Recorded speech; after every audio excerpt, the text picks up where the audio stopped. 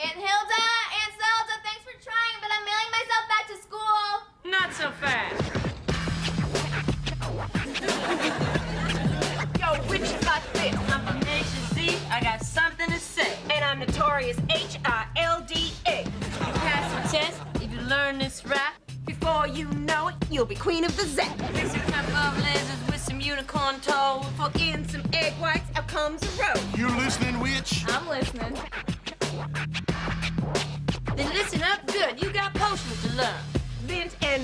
In a pewter urn.